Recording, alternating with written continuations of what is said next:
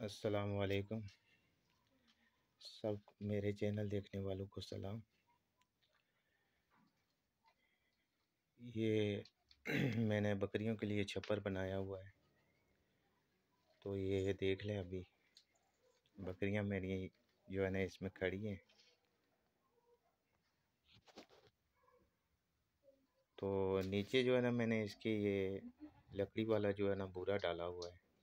इनको गर्म रखने के लिए। तो इसमें जो ये माशाल्लाह ये बहुत खुश रहती हैं और गर्म रहती हैं।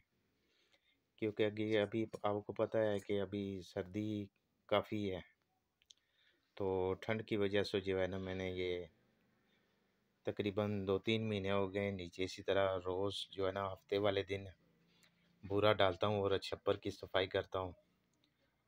तो इसमें ये खुश रहती हैं। कि इनको ठंड ना लगे। तो समझ लें कि मैं जिस तरह अपने बच्चों का ख्याल रखता हूँ, इसी तरह इनका भी ख्याल रखता हूँ। सुबह उठता हूँ, सबसे पहले जो है ना, इनके लिए चारा देता हूँ, इनको चारा देता हूँ। तो फिर उसके बाद जो है ना, मैं नाश्ता करता हूँ। ठीक है तो आप देख लें। अगर मेरी वीडियो अच्छी लगे तो लाइक कर दीजिएगा।